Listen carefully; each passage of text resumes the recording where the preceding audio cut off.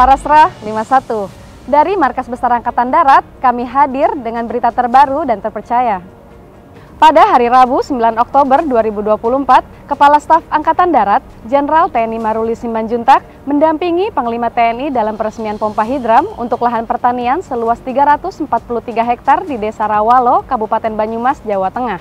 Program ini merupakan hasil kerjasama TNI Angkatan Darat dengan Kementerian Pertanian.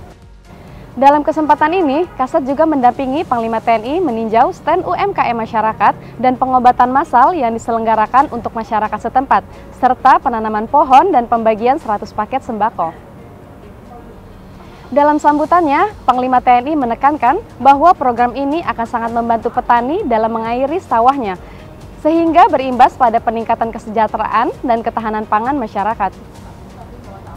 Program ini diharapkan dapat menjadi solusi atas permasalahan sulitnya akses irigasi pertanian yang selama ini dialami, sehingga saat ini 343 hektar lahan pertanian penerima manfaat pompa hidram tersebut siap produksi. Demikian update dari kami hari ini, terus ikuti perkembangan terbaru dan terpercaya hanya di Warasra News 51 Update. Terima kasih telah menyaksikan, sampai jumpa lagi, salam Warasra 51.